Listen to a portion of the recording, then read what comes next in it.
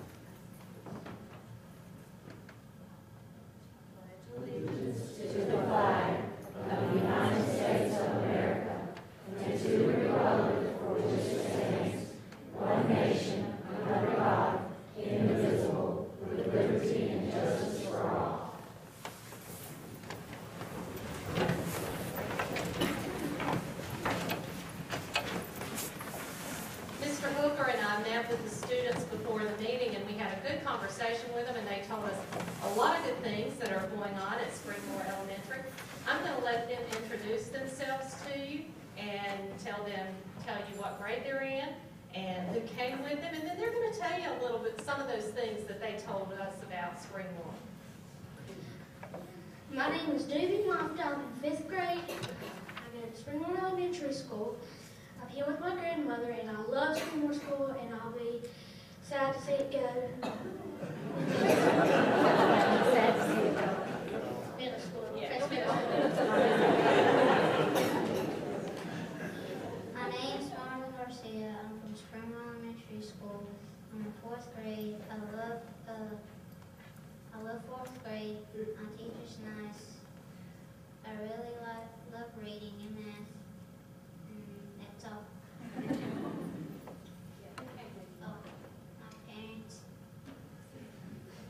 name is Carson. I'm in third grade, and my mom came with me tonight. I love Springmore, and I hope that when I leave, I will always remember it till I'm, a grown up. I love Springmore because it has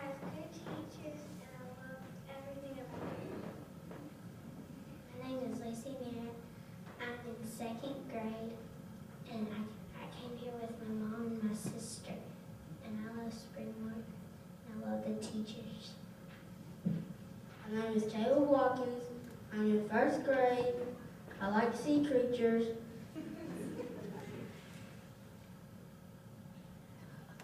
Caleb, you told me, you told me, so I did ask them, um, if there was something about Springmore that they would like to change, what that would be.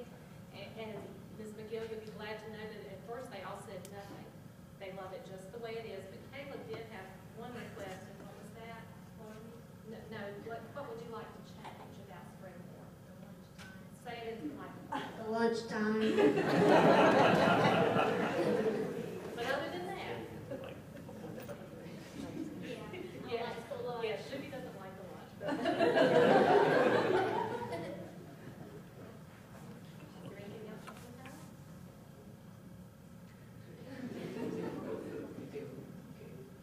Thank you, did you tell us? My mama, my mama, and my papa.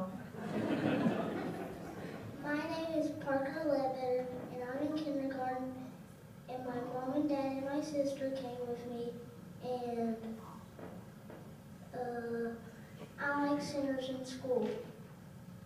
And I think Carson wanted to say one more thing about what she would change.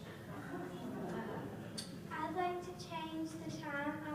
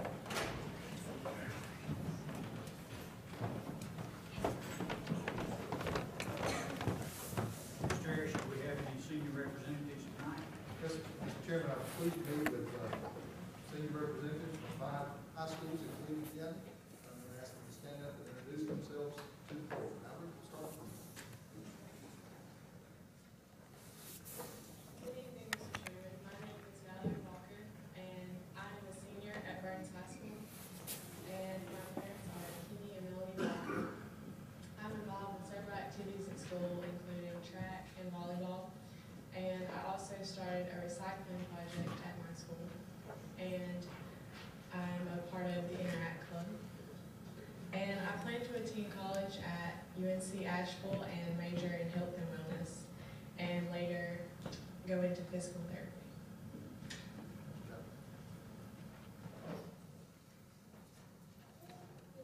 Mr. Chairman, my name is Brittany Foster. I'm a senior at Branch High School.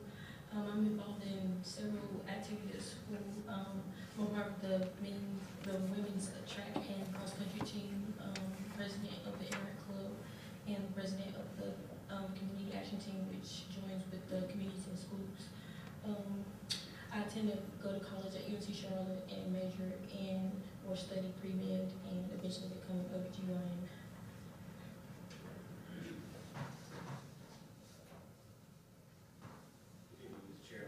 My name is Ethan Standish, and I represent Cleveland Early College High School. My parents are Angie Standish and Rob Standish. I'm included, I'm involved in several uh, community activities, including mission trips that go across the country. I, uh, my church is a food closet and backpack ministry to allow food to be given to the homeless and children in need. And I have a job at Ingles on Patterson Springs. I plan to attend college at Lees-McRae, uh, and then uh, transfer to NC State for pre-vet and then full veterinary medicine. And my career goal is to be a vet and own my own business.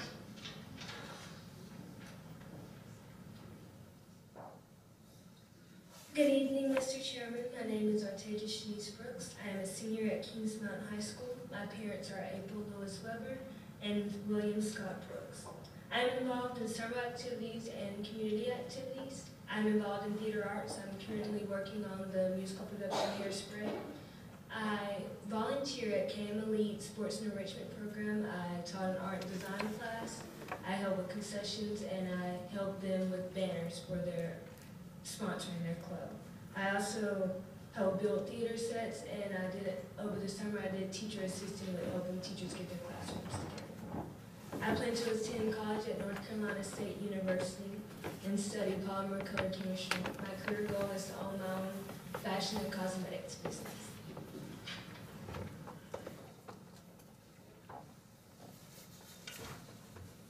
Good evening, Mr. Chairman. Um, My name is Bishop Polly Castro. Uh, I'm a senior at Crest High School. My parents are Miriam and Felicia Polly Castro.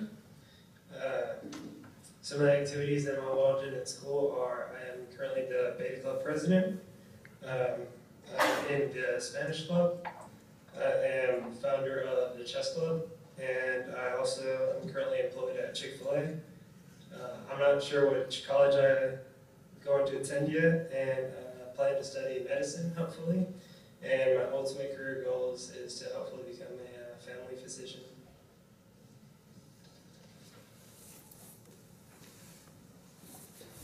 Good evening, Mr. Chairman. My name is Carrie Bird. I'm a senior at Crest High School. My parents are Susan Rippey and Dennis Bird. I'm involved in um, the Beta Club, Spanish Club, and Science Olympiad. Um, we're also starting up the chess club. I'm going to join that. Um, I work on the weekends at KFC, and I plan to attend UNC at Greensboro and study web development. And I'd also like to continue my Spanish education and possibly minor in Spanish.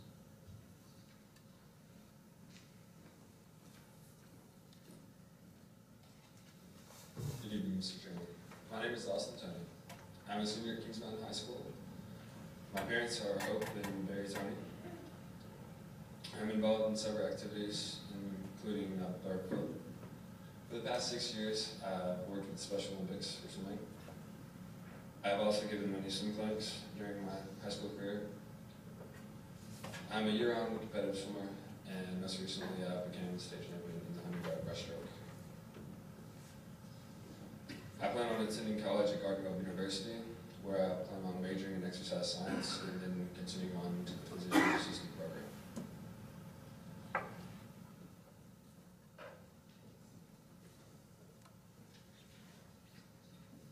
Good evening, Mr. Chairman.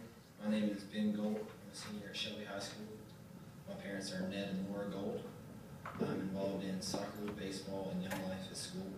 I plan to go to NC State University and study biology, and then go to either medical school or physical therapy school.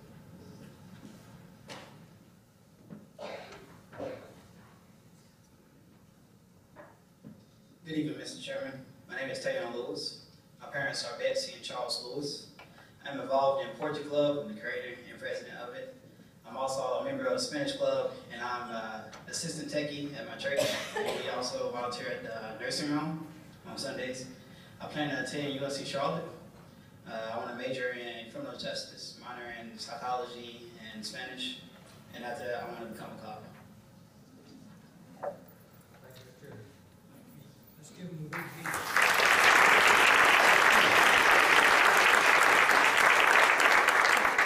Next on our agenda is adoption of the agenda. What's the pleasure of the board?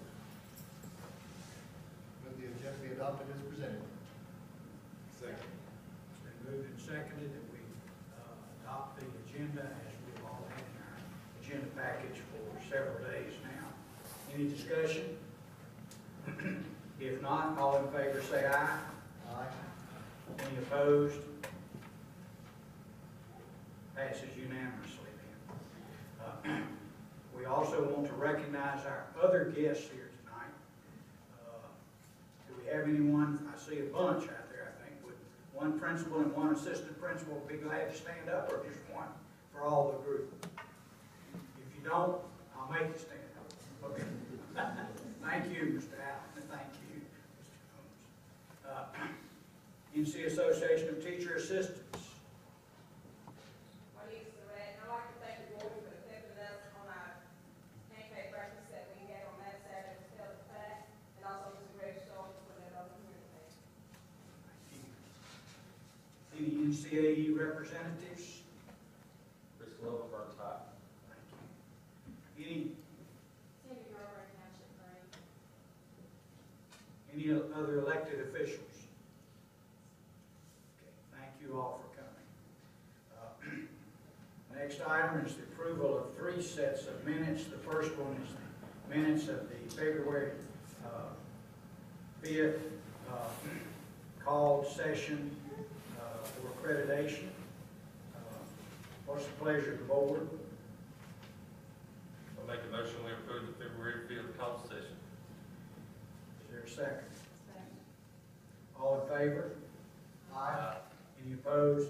Passes unanimously. I got a little ahead of the game, so we'll revert to, come back in a minute to uh, the other uh, sessions.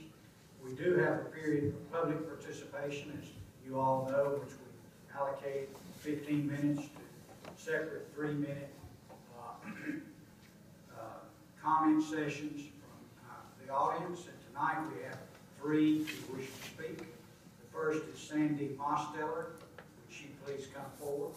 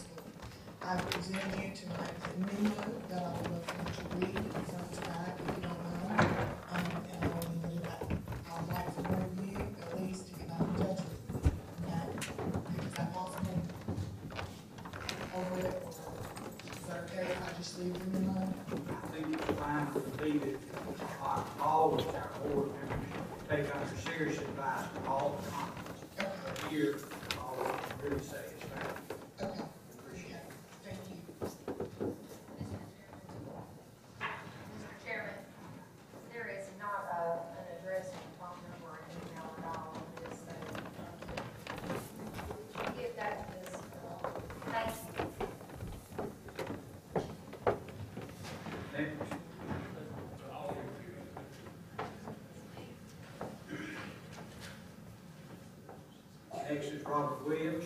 Mr. Williams.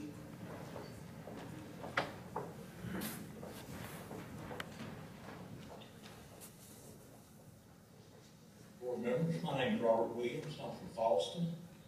Uh, the item I want to speak about is this, uh, uh, Cleveland County Board of Education resolution. It's regarding this twenty-five percent contract. I believe, uh, at the last meeting, one of our previous meetings, there was a pretty extended discussion of this twenty-five percent contract. And, uh, as I sat right back there listening to it, uh, it appeared to me like it was a real good idea. And it was uh, basically a statistical process control that's looking for a way to improve the quality of our teachers. That's what it looked to me like, and I think that's exactly what it is. And, uh, I was kind of disturbed that I heard, uh, statement that we were gonna drag our feet on that.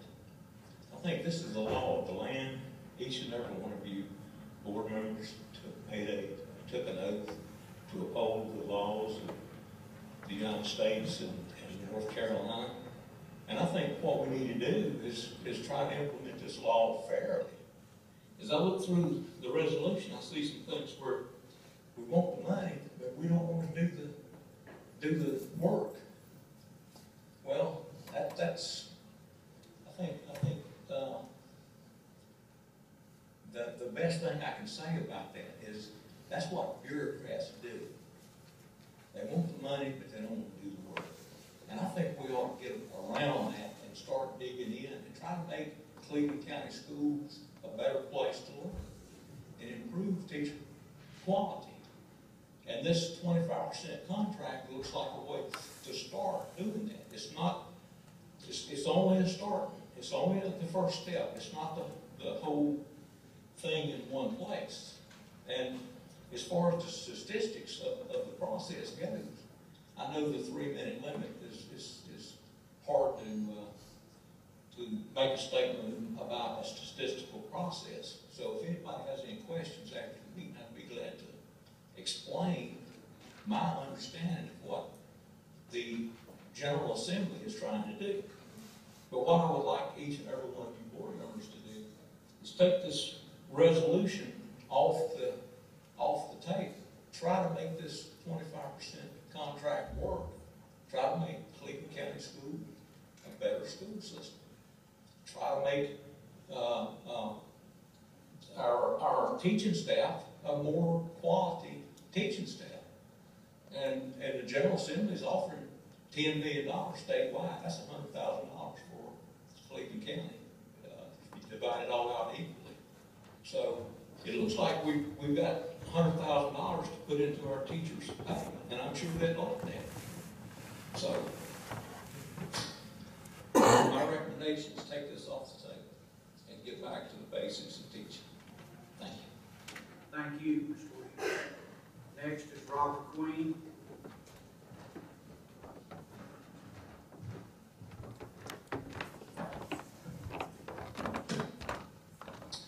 Mr. Chairman, board members, I received a letter from you dated February 18th denying my request to be put on the agenda for tonight's meeting. You indicated that the school system does not have the resources to answer my questions because doing so would pull the staff away from the students. Secondly, you stated that the board was not legally obligated to answer any questions other than requests for public records.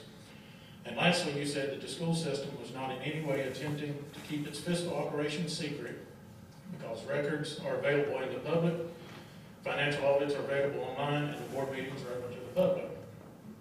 I have a response ready for your three reasons, but I think the words of two elementary school teachers express the point better than I can. Yesterday, my wife asked two teacher friends why they didn't attend board meetings. One of the teachers said that it was very apparent to the very apparent that the administration and board did not want to hear from them, so they just didn't go to the trouble of attending. The second teacher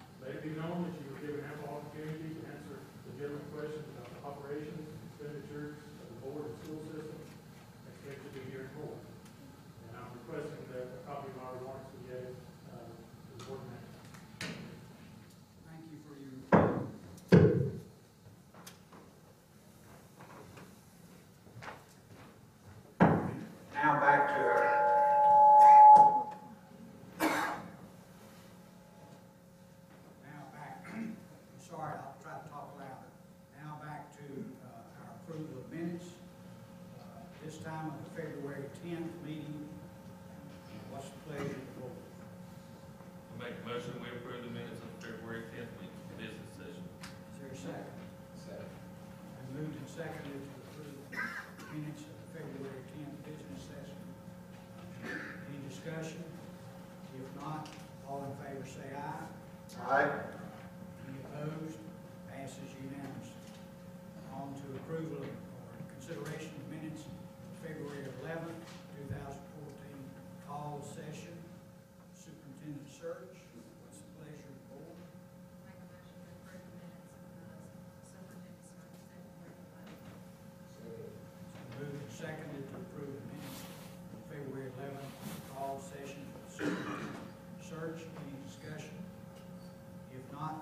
favor say aye.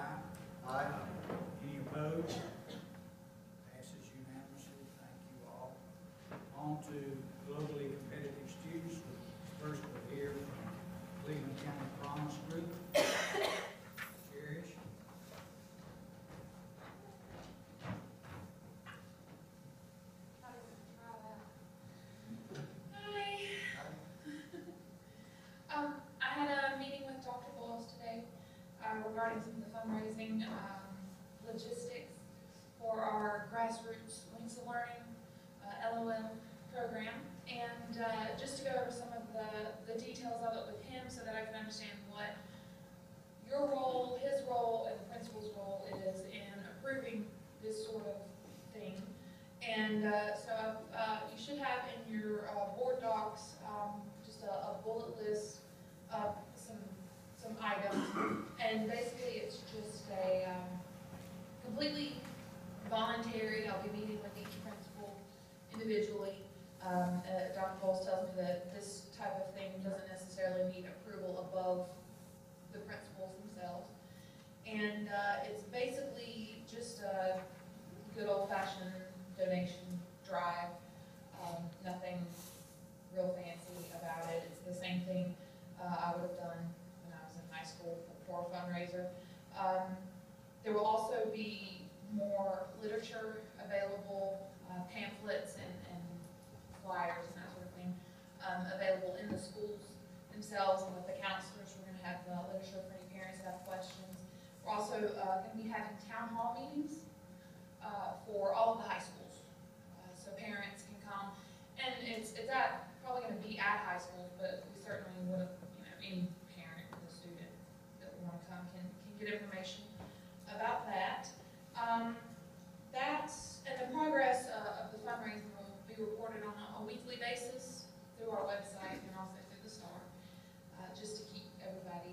Abreast of what's going on. That's basically it. Does anybody have any questions?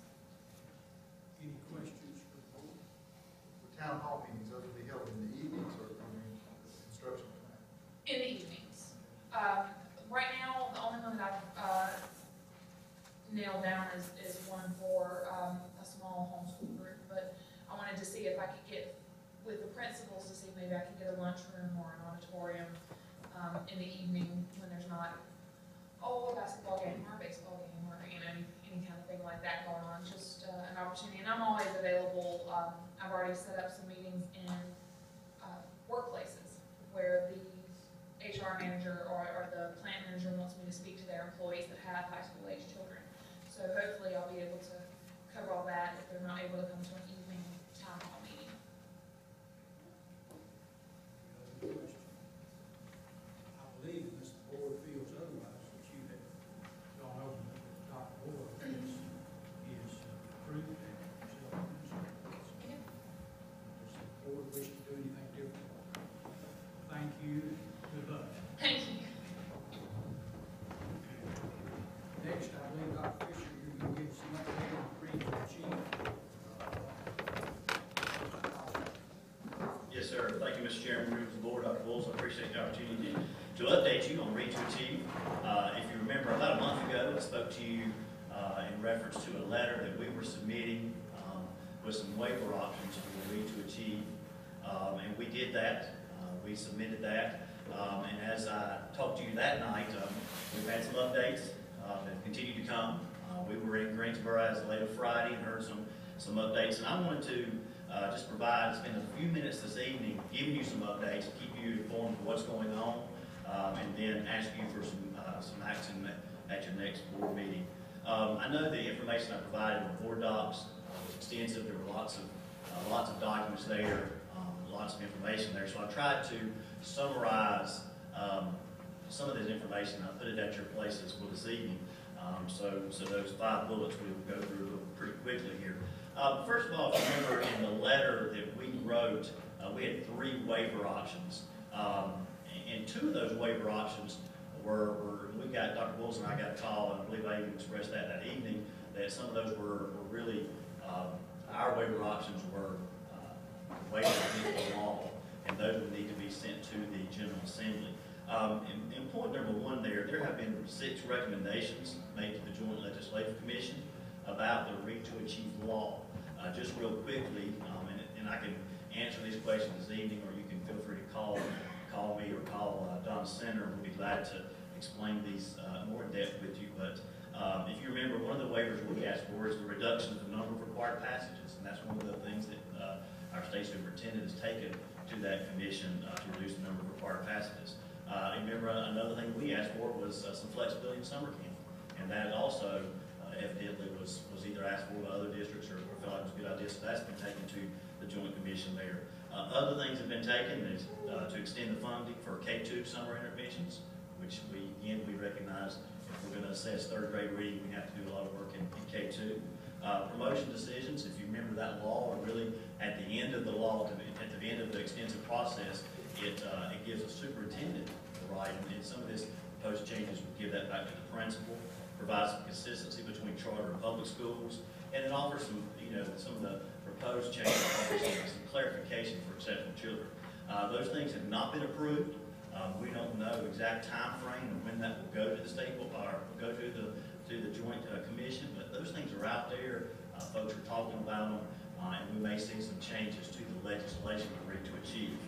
Uh, but so, but some significant things have changed and uh, have, have really um, made our teachers a lot happier, our administrators happier. Well, we've got some elementary administrators uh, in the building tonight, and I know in meeting with them uh, provide some relief.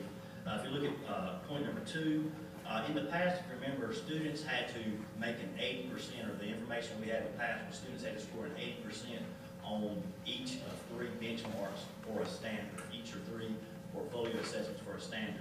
Well, that's been revised. The law actually says seventy percent, and what we were led to believe is you had to count each one of those indiv- individually. Five questions, um, four out of five would be the eighty percent. So I think that's where that, that- that's come from. But, uh, what's, what's being said now is we can use those three passages for each standard and, and use that as a cumulative score. So, you know, and I give you the example, if a student, you know, has three passages and they, there's fifteen questions, they score eleven out of fifteen, that gets them above the seventy percent, and that allows them to, uh, complete that, um, that standard. So that really does provide some, uh, flexibility for our students, and we see a lot more students being successful with that rate. Having, uh, scored those passages individually is very difficult. So if a student does, you know, does not as well on one of those passages, but does well on some others, they're able to add those together. So that's really, that's really when I, uh, met with principals and our, uh, curriculum folks at the elementary level, they were, uh, very excited about that. Um, one of the things also that you heard about was, uh, frustration, I believe. Um, I know Bill Harris was in the group at Bowling Springs, and, and I know some of you other, uh, other board members were, I'm not sure who was in that group, but, uh, what we heard from teachers were they were frustrated because they couldn't go back and, and teach from these passages. You know, they, uh, any good teacher understands that form of assessment, you give that form of assessment, you get back and teach from it. Uh, but now we have the flexibility to do that. Um, if this was my third grade classroom, I could give you a portfolio, you could take it, take it up, I would assess it, and then I could give it back to you, we can teach from, we can learn from, from Mr. Harris's mistakes, we can understand why Ms. Miller chose B and got all the answers right. So that's a real big thing for our teachers to be able to use that, which enables the time that we're spending on doing these portfolio assessments. Now we're able to really impact and improve instruction. So our, our teachers and administrators, I believe, are excited about that. Uh, also, the responses maybe shared with parents, and that's been a change. And now the parents can come in and see where my child's at, what are they missing, what do I need to help them with at home. Um, I know I've got uh, folks that I've communicated with that, that were frustrated at the beginning about, I don't even know what my child's missing, I can't see them, I can't do those things, but now they have that opportunity. Uh, number four, good cause exemptions. Um, included now are, um, uh, included are extend one and extend two. Uh, in the past, those were not included. Um, so if you're familiar with that uh, exceptional children's uh, terminology, we can include those students with good cause exemptions. So that's made a, a good thing. Um, and then the fifth thing is we, the main point of our waiver that night was to, um, to look at uh, an alternate assessment to be able to use to meet the requirements of Read to Achieve. If you remember, our district asked to be able to use Reading 3D. Um, that was approved, and, um, but we needed, a, a few other things need to happen for that, for, for final approval. Um, while that was approved, and I think, um, Dr. Wills, you may have the exact number, but I believe there were twelve or thirteen, um, districts that submitted some things, and all of those things were approved. Um, we have to send in a statement that, um, we verify that, um, and I'll read to you, a statement verifying the requested alternative assessment is a valid and reliable standardized assessment of reading comprehension and demonstrates that the student is reading at or above the third grade level as required by the Read to Achieve law. Um, and the documentation I provided you, if you look at those attachments two, three, and four, really gives us, uh, and what we believe, ample documentation that Reading 3D does that. Um, if you, uh, the second page that I gave you just is the waiver options, and I just cut and pasted that from our original letter, so you're familiar with what we asked for. Um, and what we asked, um, if board members, and I know I've given you this information, a lot of information, uh, but what we're gonna ask is we'll come back to you on March tenth. I've given you a draft of a letter that we would ask for your approval so that we could officially use Reading 3D as an alternate assessment in Cleveland County Schools. Um, at students scoring at level P would be, uh, considered to demonstrate mastery, read to achieve. So, um, with that information, I'll be glad to answer any questions I can tonight. Um, or, um, we will come back to you on March tenth. It'll be time to look over that documentation, that letter, um, and, and I'll be glad, Donna and I, either one will be glad to answer any questions you have. Mr. Chairman, I have a question. Did I understand you to say that other districts are also using the Read 3D as well as Cleveland County Schools? Yes, ma'am, that's correct. Um, basically, in the, the, the, uh, most of it's passed is anything that was passed, any district could use. Um, and there are other districts going to use it.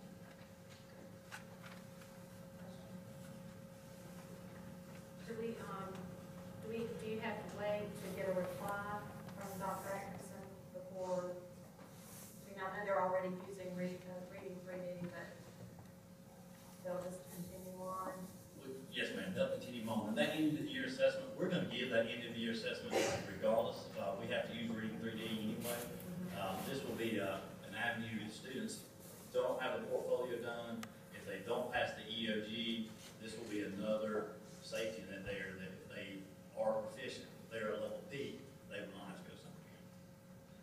Ms. Guthrie, Carolyn Guthrie, the DPI consultant, basically, her information to me was, your board passes this, your board chairman signs it, it's gonna be approved, and you've got that option.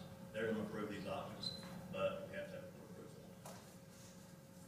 We could use the reading three D as a sole assessment, is that right? It wouldn't be the sole assessment, Mr. Harris, it would be an assessment that after, if a student didn't do the portfolio, hadn't completed the portfolio, didn't, didn't make the necessary score on the beginning of grade, didn't make the necessary score on the end of grade, but on their TRC or reading three D, if they scored a level P on that, which would be grade level proficient, then we would use that as a standard for them not to have to go to CERN. And we've already approved that on the PD. That's correct. And, and it may just be a typo that, on, on your note, just want to be clear that the North Carolina extend one, extend two, it says it included not. So- Okay, they are included, yes. Okay. They are, uh, they're a good cause exemption, that means they're exempt from, uh, having to pass that. It originally was just extend one, but now it's extend one and extend two. Um, and if you remember, um, part of the exceptional children clarification, um, they've asked for, for some additional flexibility with, with EC students, but at this point, it's just extend one, and extend two.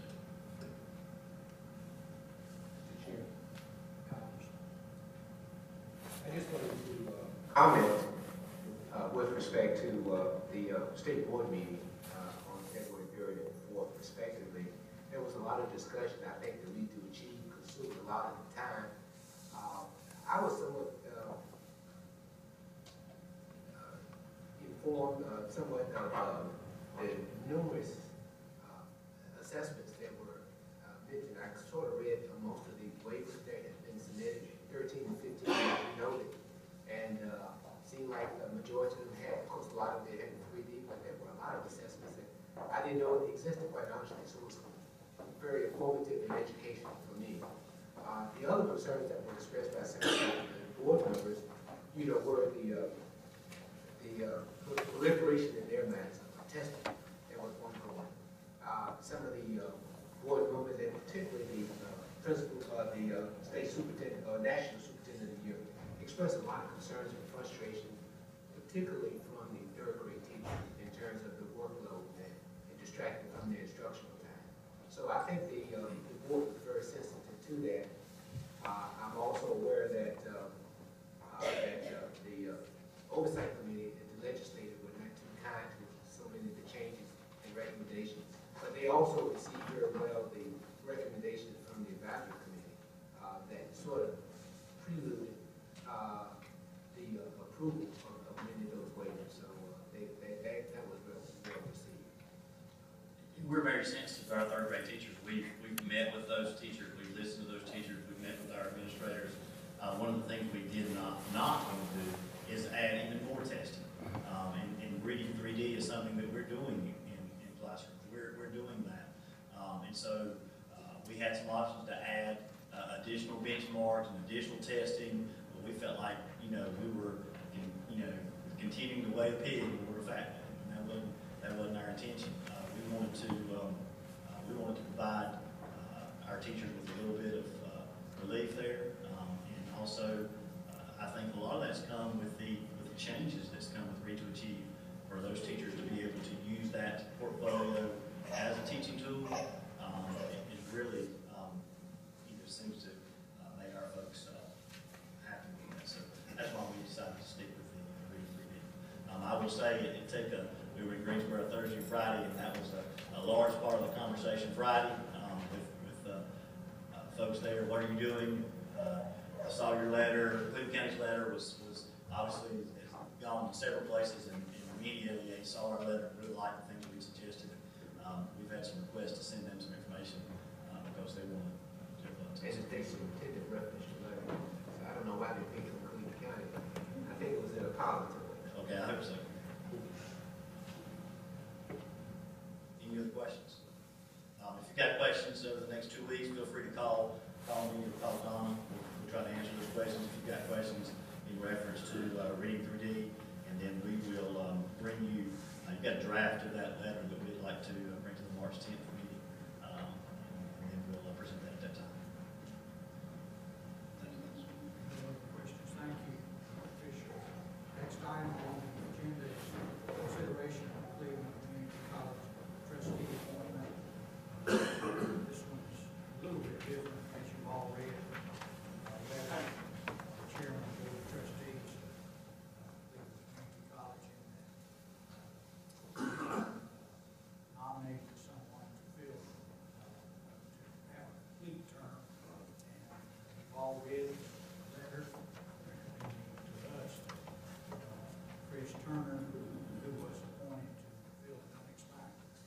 expired term in two thousand ten to a new four-year term.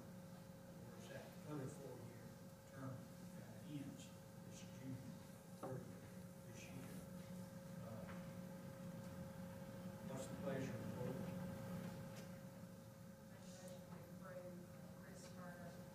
Thank you for his willingness to serve. Second. Moved and.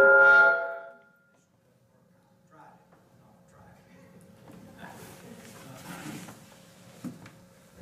Moved and seconded that we uh, recommend Chris Turner to a new four-year term. Is there any further discussion? If not, all in favor, say aye. Aye. Any opposed? Passes unanimously, thank you all. Next item on our agenda is the NCAE teacher tenure information, which I believe Chris Glover is going to have for us.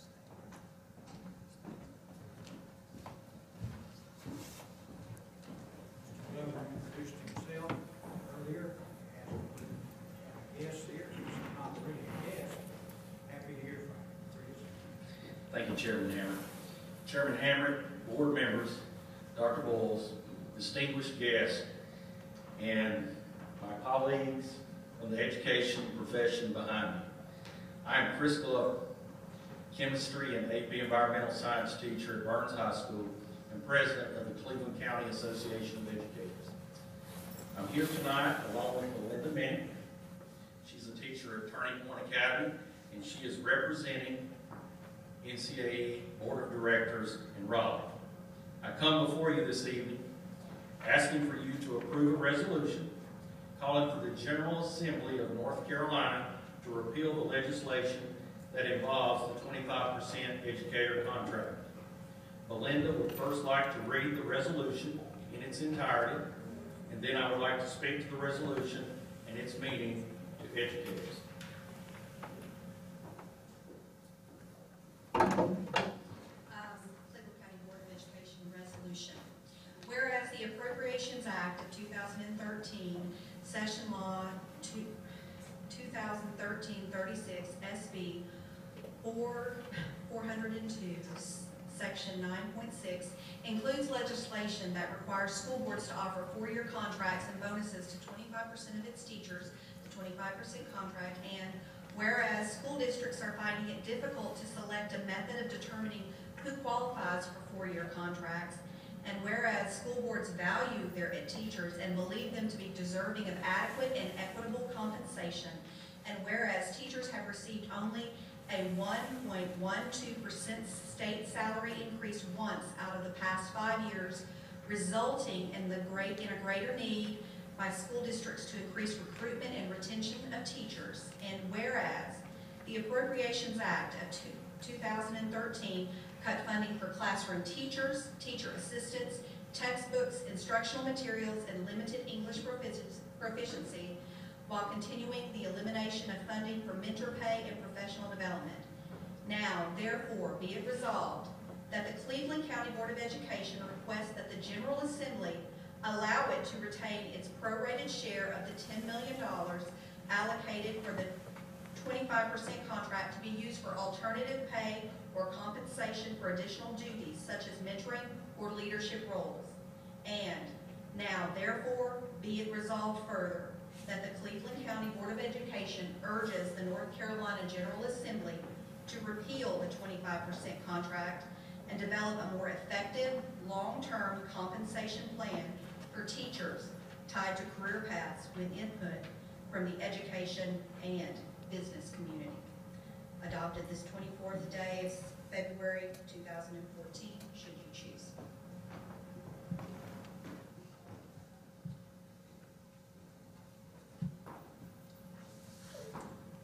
First of all, let me say, Ms. Wampler and Dr. Boyles, I sincerely want to thank each of you for what you've done by working with teachers to make the best of this legislation. While there is no best way to deal with this issue, you have listened and responded to our concerns, and we are grateful for your work with us. To the school board, I want to thank each of you for all the things you have done for us in our classrooms with the limited resources the legislature has given. I never thought I would have to lobby for public education in a state that is founded on the belief in public education. North Carolina's Constitution clearly states that this state will maintain a uniform system of free public schools. Our leaders even decided we also needed a public university for our citizens, and UNC became the first public university in the United States. Our 16 campus system has been a model for other state university systems. So where are we now in North Carolina? The legislature continues to slash funding for teachers, teacher assistants, classroom supplies, and textbooks. According to a story on National Public Radio, North Carolina is the first state to decide not to pay new teachers who earn an advanced degree in the United States. Can you imagine telling your doctor not to go back to school and gain more knowledge? And would any of us actually tell our students that more education is not really what you need? No, not in the state of North Carolina. There is an attack on public education, the likes of which I've never seen in my 24 years as an educator. Across this great state of North Carolina, NCAE and school boards are coming together, standing as one voice and telling Raleigh, we have had enough. Newspapers such as the Charlotte Observer state Cabarrus teachers are torn up over giving up tenure for $500. The News and Observer, only in North Carolina could a possible pay raise become a nightmare for a teacher. The Washington Post, school board defies North Carolina state law abolishing teacher tenure. And now quoting from the Guilford County Schools resolution of February the 11th, 2014, which most of us have heard about on state and national news. They stated in order to consider the contract offer, in order to consider the contract offer under the 25% mandate, teachers will not have sufficient information to make an informed decision when they are forced to decide whether to forfeit their vested property right to tenure, which was earned in good faith for dedicated service to the students of GCS in exchange for the four-year contract. A fundamental principle of contract law requires parties to know and to understand the bargain they are making. End quote. Our association, NCAE, filed suit against the state of North Carolina this past December to stop the removal of career status from teachers who have earned this property right. A property right that is not true tenure like the university system, but a guaranteed right to a hearing before this school board and or a hearing officer before being dismissed. Administrators will still be offered this option. Why not teachers? So what are other problems with this legislation do we see? I've heard legislators and the news media say that the teachers who are chosen represent the top 25% or the best 25% of eligible teachers. Here's problem one. The word top or the word best is not in the legislation. I'll read the legislation. All superintendents shall review the performance and evaluation of all teachers who have been employed by the local board for at least three consecutive years. Based on these reviews, the superintendent shall identify and recommend to the local board 25% of those teachers employed by the local board for at least three consecutive years to be awarded four-year contracts beginning with the 2014-2015 school year. The superintendent shall not recommend to the local board any teacher for a four-year contract unless that teacher has shown effectiveness as demonstrated by proficiency on the teacher evaluation. So now we must take the list and not call the list that we presented to you the top twenty-five percent or the best twenty-five percent, just the selected twenty-five. Problem two, could we still say they are truly the best twenty-five percent of eligible teachers? Again, we need to understand the legislation. The word teachers is used generically in the legislation, and it actually includes counselors, instructional resource teachers, and media specialists who are not evaluated on the teacher evaluation instrument, but on a different evaluation instrument. According to the Attorney General, the definition of teacher also includes social workers and others who are not teachers, but are paid on the teacher salary schedule. How can we compare teachers to each other, let alone with other employees from other specialty areas? I have what is known as an EVAAS data effectiveness grade. My colleague Ann Goss, who's in the audience tonight, is a two-time Star Teacher Award recipient whose students consistently receive superior ratings at the North Carolina State Bowl Contest. And she has no EVAAS data or North Carolina final exam. The arts are just as important to students as the academic core. How do we compare teachers with test data to teachers without test data? Researchers have been asking this same question for decades. And our legislature wants us to solve the problem now. Problem three, the appropriation for this four-year contract has only been funded for one year. One might conclude that the intent of the legislature is to fund the contract for four years. Well, please let me inform you of the other intents of current and past legislatures. ABC bonuses for expected or high growth were supposed to give teachers and teacher assistants raises for each year a school shows growth. ABC legislation remained, raises were withdrawn for lack of funding. Mentor pay. For each of your first two years of being a mentor, you will receive mentor pay. Mentor requirement stays, pay removed due to lack of funding. Intent of the legislature was to have less testing. We now have more state testing than we've ever had. So when it comes to a contract, intent will simply not cut it. Is it funded for four years or not? A simple question. I've asked the question to two members of the legislature. I have the emails here. I have received no response. It's a simple yes or no for a very important component of the contract. The question could not get any easier. Is it funded for four years? Yes or no? If appropriations have not been made, then how can this contract even be offered? I can imagine signing a mortgage contract with a bank. I can pay you the first year, and I intend to pay you for the rest of the contract. Problem four, the state evaluation system. Let's say if the final educator chosen is Educator 301.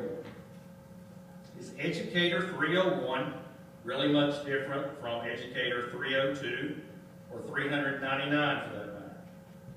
This is a problem around the state because of this evaluation instrument and its subjectivity. For example, evaluation and ethics, element 1D on the evaluation instrument.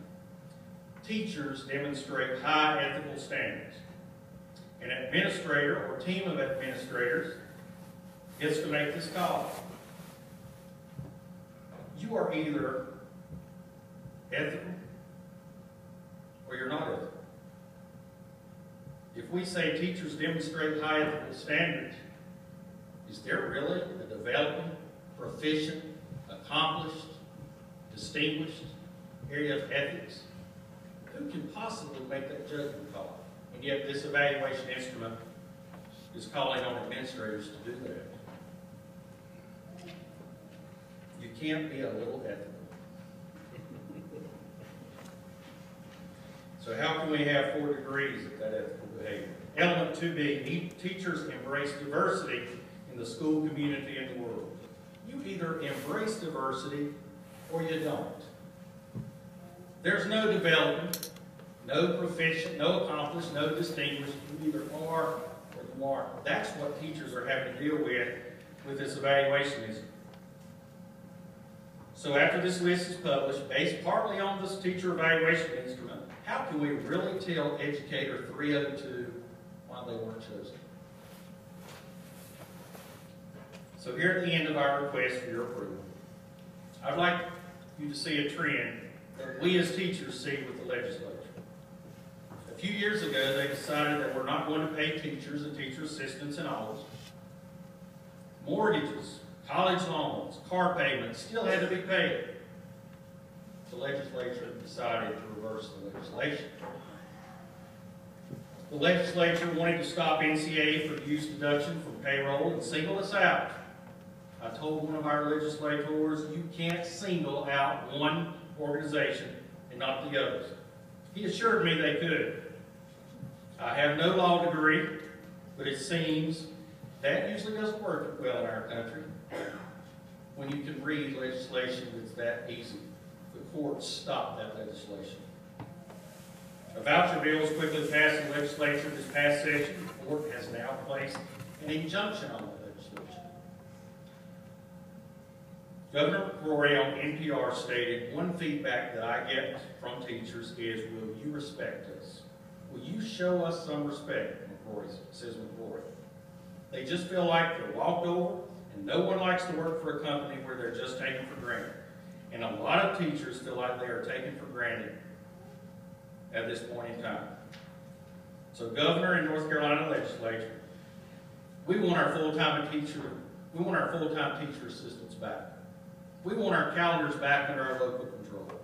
We want textbooks, print or digital. Can you imagine telling a college professor you're not going to buy the textbook because they cost too much? And if you're going to require us to test here in the last five days, is it really too much to ask that we get the scores back within two days? We have a little thing called valedictorian, salutatorian, and graduation. We need them. And lastly, repeal this 25% mandated contract legislation. As Dr. Martin Luther King said many years ago, our lives begin to end the day we become silent about things that matter. And I must say, these things you have heard this evening, to all of us involved in the education of our future students, they matter to us. I thank you for your time. Board members, let us all stand united together tonight. I ask for your approval of this legislation.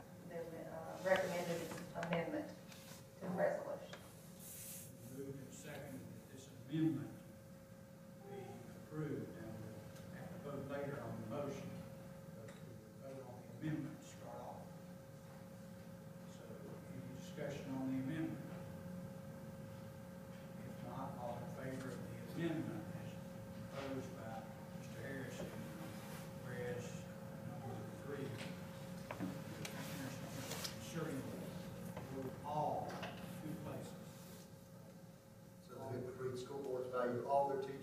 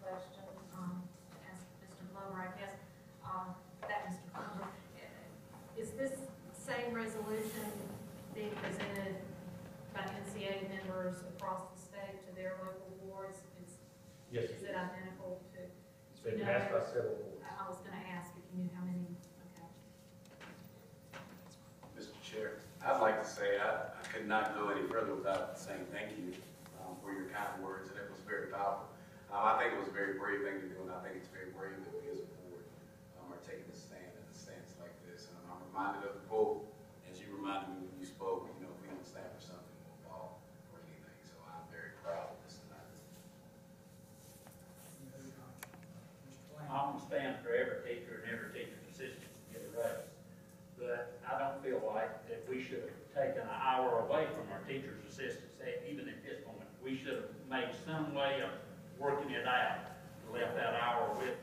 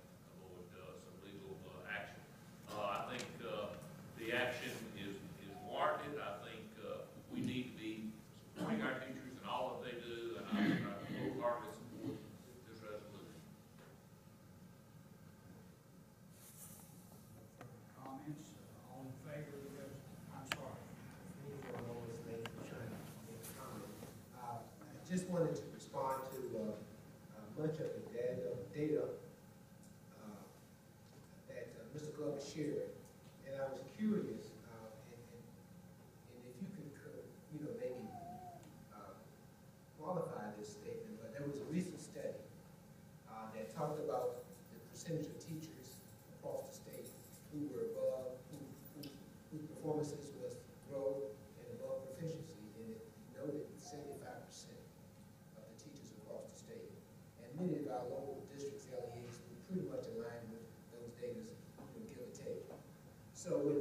rationale that I, I, I, it's difficult to understand the justification that uh, we, that the legislature proposed uh, a uh, 25% contract. So what happens to the other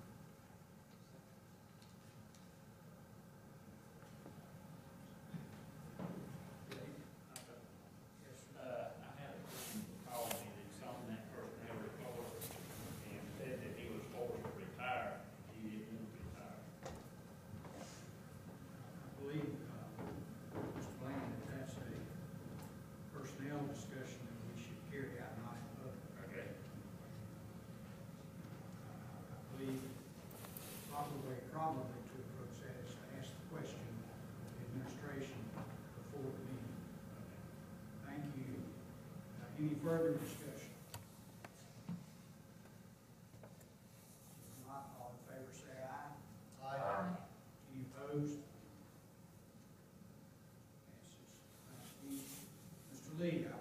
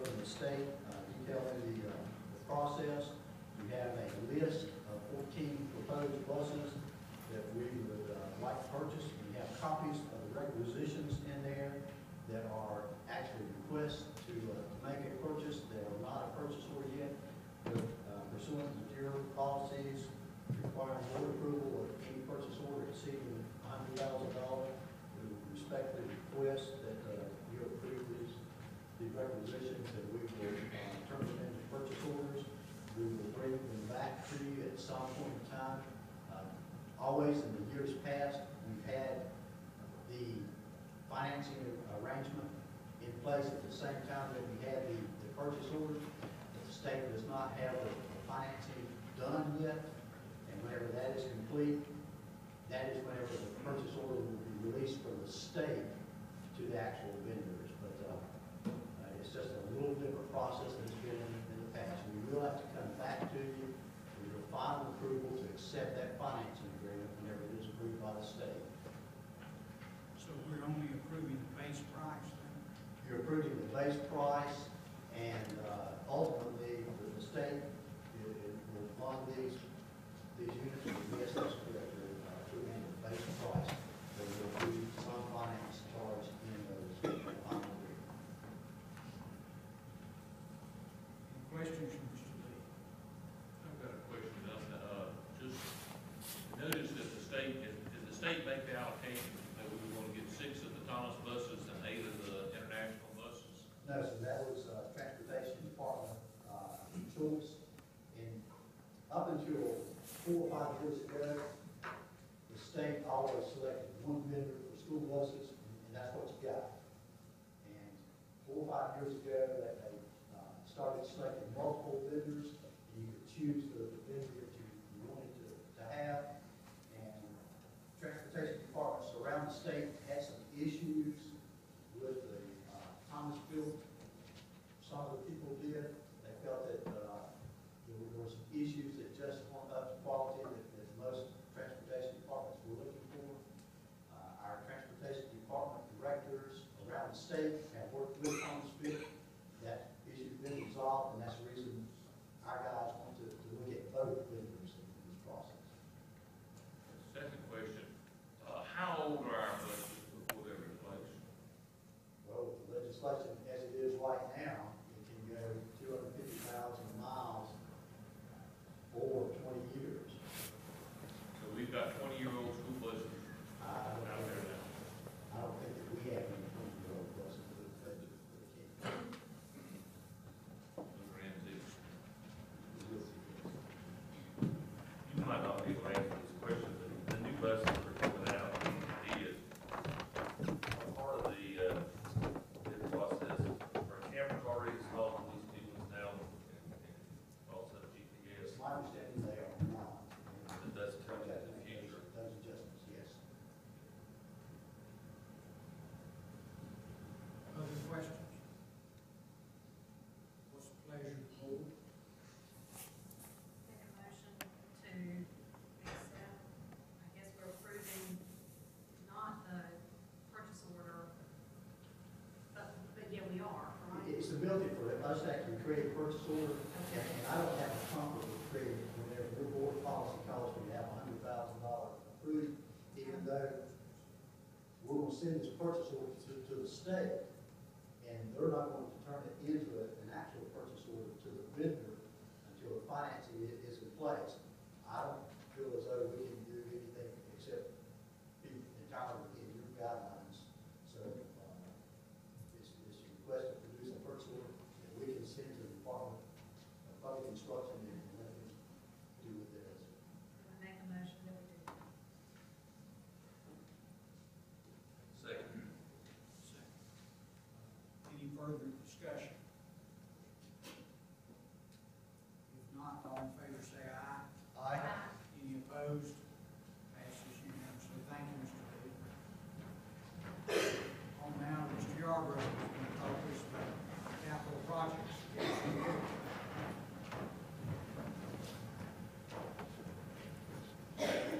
Thank you, Mr. Chairman, board members. Um, Only have a couple of newly encumbered projects uh, since our last report. Uh, these are dealing with uh, security upgrades. We'll highlight just a few other projects. Uh, Kings Mountain High School, we did install a uh, stormwater drainage uh, really associated with the new field house at Kings Mountain High School. Uh, We were able to get in, we did coordinate this with Mr. Hall, uh, contractor there for that project, to get in and put this uh, pipe underground to an existing uh, catch basin before they actually poured the sidewalks. Uh, We have completed the restroom partition replacement project that really involved four elementary schools. It's Brown, Grover, And West. Uh, Morgan Theatrical is scheduled to uh, replace the curtains at the Barnes Auditorium the week of the tenth. Uh, Just a couple other updates. Uh, The Kings Mountain Fire Department has scheduled to burn the house on the property at West Elementary on March the third. They plan to do that after school hours. Uh, Town Grover has started the culvert replacement project there on Dogwood behind Grover. Uh, They've actually put in the uh, temporary drive, so the access to our pre-K classroom, uh, there's no issues with that. Uh, that, uh, also as part of that project is a sewer line and a water line that have to be relocated as they change out this culvert. I have spoken with uh, Town Grover as well as the contractor on site, and they do plan to work around our school schedule if they have to shut off the water. Uh, Hopefully, this uh, culvert will be in this week. I also want to make you aware of uh, a pre-bid schedule for the uh, softball dressing facility at High School. We have scheduled that for March 11th, to Tuesday at 2:30 here at the Staff Development Center.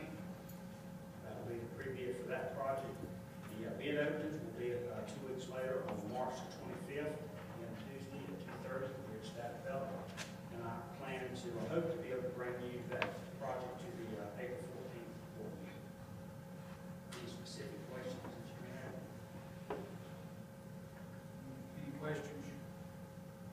Mr. Chairman, I don't have any any questions about the projects here, but the sound system in this room, seems like every meeting, there's an issue. Can you, is it possible to have somebody come in and has some expertise, tell us what we can do to get the sound system in this auditorium right? Uh, Mr. Harris, we've got a plan in, in, in progress. Uh, we feel like it's initiated from this wireless mic here. The mics that you have are hardwired, this is wireless. And I think we have to adjust this up for a point that it impacts. Our plan is to come in and place hardwire here and here, hopefully. when You that's- guys, you guys are working with it. That's, that's, that's planned ahead, sir. Do you have a completion date on that by any chance? Here you go, Harry. Beg your pardon? I hear you. Oh, that's your answer? I hear what you're saying. Thank you for hearing me. I understand you do your best, I know. Uh, Next is uh, some information I think everybody's been waiting for, inclement weather makeup day, Dr. Boyd. Thank you, Mr. Chairman. I think some of our teachers have stated this, I think maybe that's, may- maybe as important to them as the twenty-five percent, and I can understand that. Uh, It seems to have been uh, very important as I've visited in schools and been out in, in talk with people over the last few weeks. And uh, folks that work with us, that we work together on these weather calls, understand that I don't make predictions about the weather, I make observations, so I'm not gonna make any predictions tonight about the weather because uh, that sometimes kind of jinx, kind of jinxes us. But I prepared, prepared for you, um, just an overview of where we are in terms of inclement weather. And I included on there, uh, both our late arrivals and our days missed due to inclement weather. Uh, This is always a complicated matter because we we have to both look at um, student days, and then we have to look at the status of employees on those days when they are not working, whether they're taking annual leave, and are we exchanging an annual leave for an annual, annual leave, or, um, and so that sometimes directs the decision we make. Uh, First and foremost is our concern for safety, but then sometimes we may say that employees are not uh, allowed to work because we know they're gonna have to exchange that for a day later on that would be an optional day. So, won't go into that, belabor that point, but just to let you know that it is a complicated matter. So I want to go through uh, really what we have and where we are at this point and make a recommendation to you. We have been closed, as you can see, for uh, students, staff, and for students and staff in some fashion on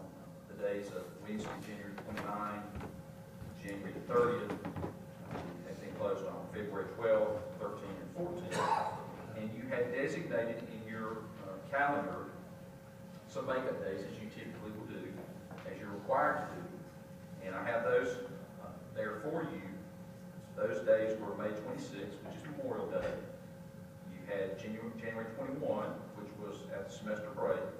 And uh, incidentally, that is not an option for us because we passed that day before, as you can see, before we missed our first day of school. And so that leaves us with three additional days, spring break days, uh, April 23, 24, and 25. Uh, back up to the top chart, you'll see what uh, would be the case if you do nothing. And that would be uh, really a couple of things.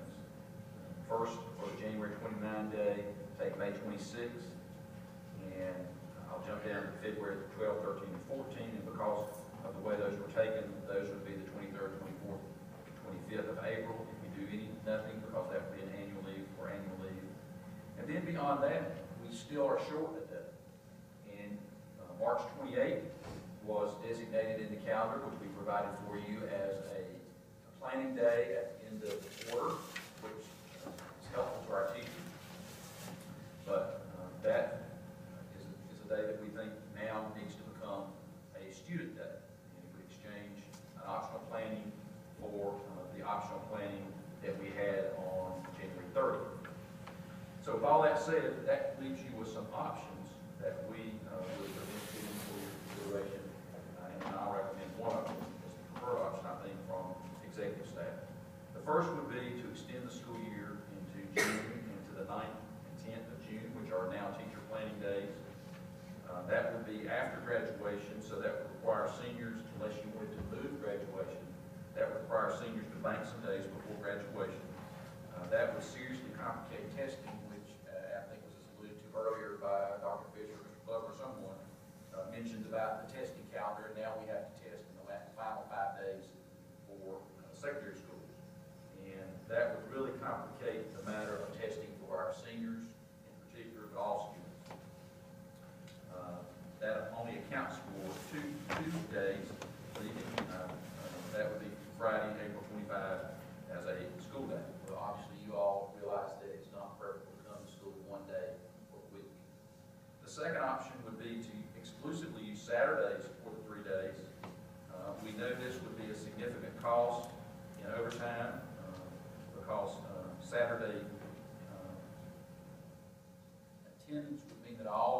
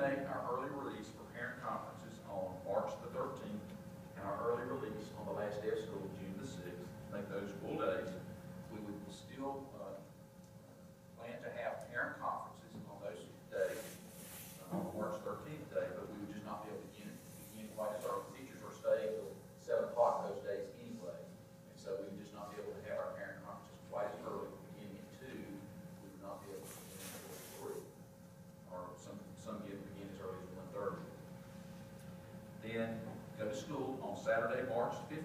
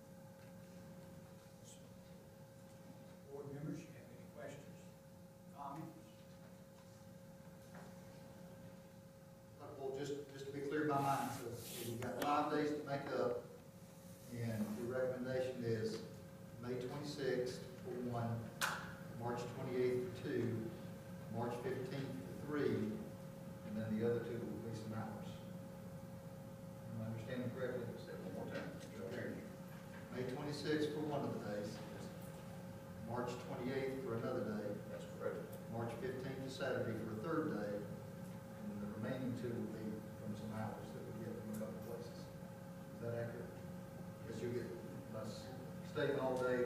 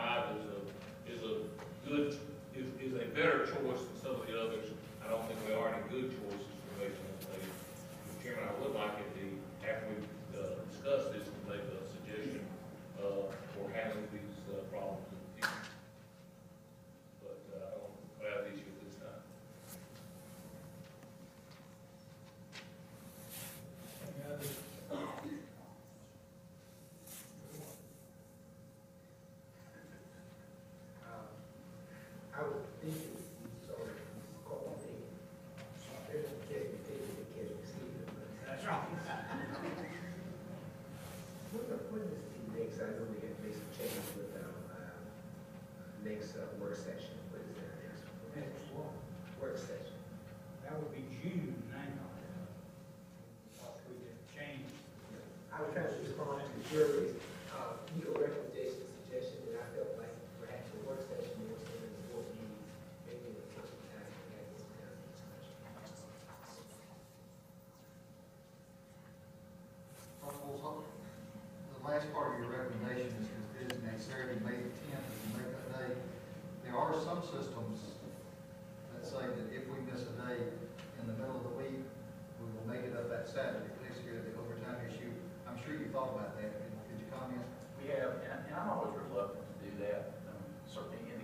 legislation, or actually, it's not really calendar legislation, but it, where it says that if we take it.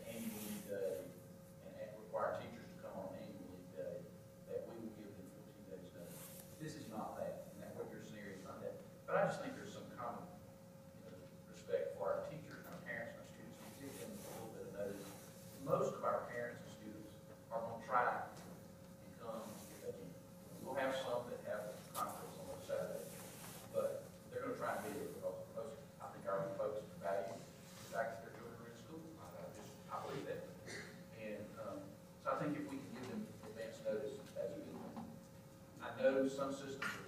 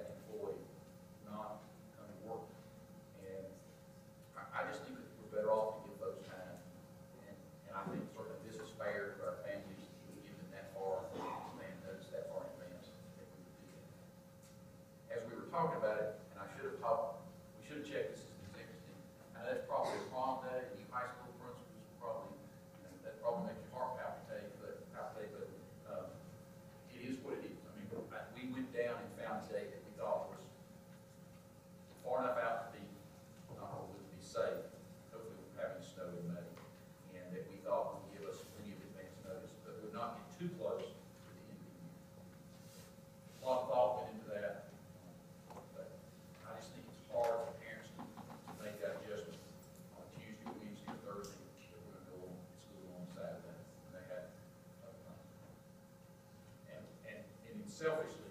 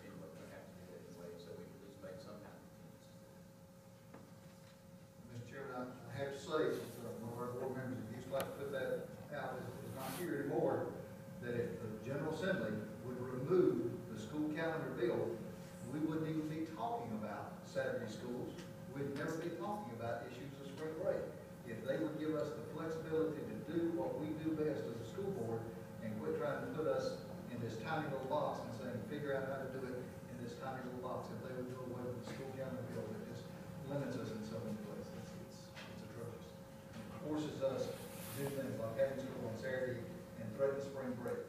That's not this board. That came out of the General Assembly. Any further? Any questions? Yes, sir. Would you like to make that motion? Yes, sir. I, I make a motion that we approve option five that was presented by the superintendent, which will make up school on May the twenty-sixth, May the, excuse me, March the twenty-eighth, Saturday, March the fifteenth, and eliminate early release on March thirteenth and June sixth, and also use accumulating hours in excess of one thousand and twenty-five minutes for one day. And further move that we designate Saturday, May the tenth, as a makeup day if it's needed due to additional implementation. Second. Any further discussion? If not, all in favor say aye.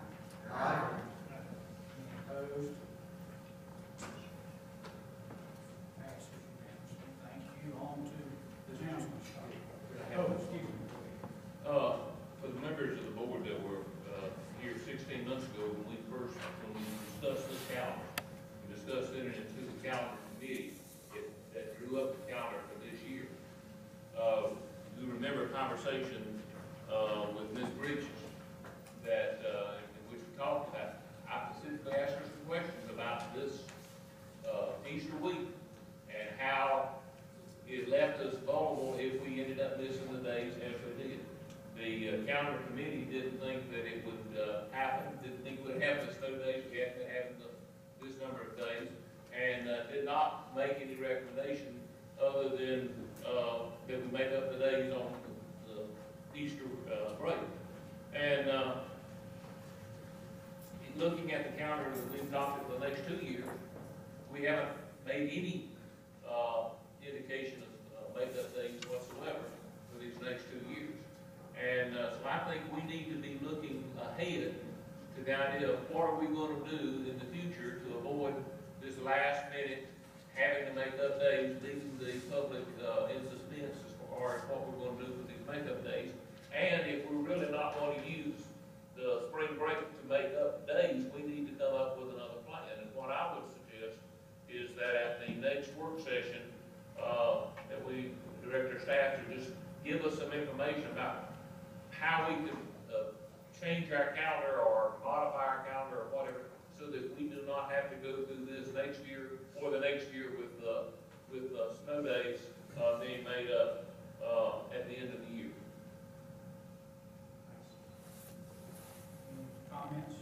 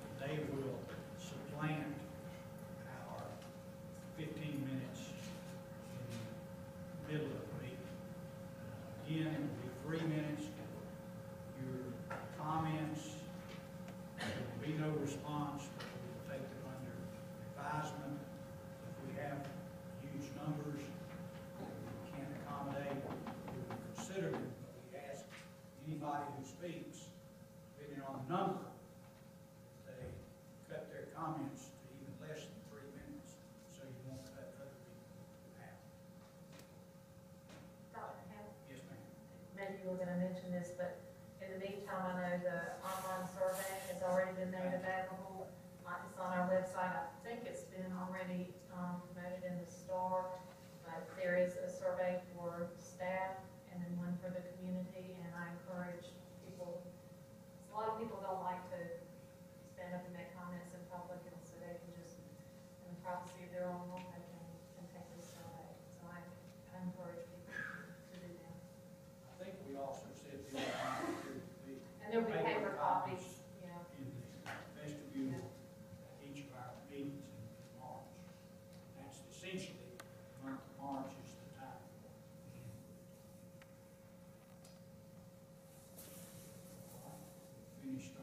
Ende